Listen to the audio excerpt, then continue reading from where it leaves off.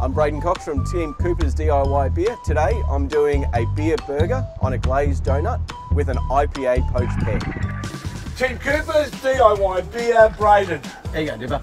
I'm going really well. Now you know we the barbecuers, we work in any Rain, any or condition, shine. any conditions, and it's been raining, but now we got to push on. Now we've got burger and beer week. What do you got for me, mate? So today I'm going to do a donut burger with a Right. beer sauce. Uh, so I'm going to put a, put a pork mince with my beef mince as well, bit of bacon in a donut, and then I'm going to do an IPA poached pear with a sabayon sauce, which is a, Wow. a sauce made with IPA as well. Wow, that sounds absolutely terrific. Uh, There's no doubt about you, donut burger, or your your meals have been fantastic and big, big. So are we talking big burgers? We're talking little burgers. What are we talking about? This one's bite sized, so it's a nice little glazed donut Like that we're using. I like it. Burger and beer. Cannot wait to taste the donut.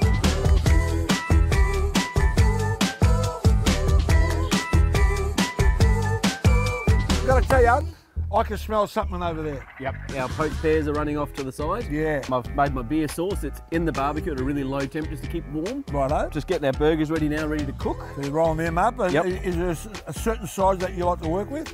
Yeah, about about that. Right. Um, it's about 110, 120 grams Okay, thereabouts. righto. Once these are all rolled up, I'll get them on the barbecue, Yeah. make the bacon, and then I'll make the sauce to go with the pears, and, and we'll be ready to Right, go. we mate. go. Right, I'm looking forward to that. Smells terrific.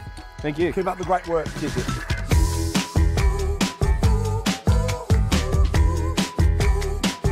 So we have a donut burger, which is a burger and bacon with a beer sauce on a glazed donut, and then an IPA double poached pear with freeze-dried raspberry and a Sauvignon sauce. Fantastic.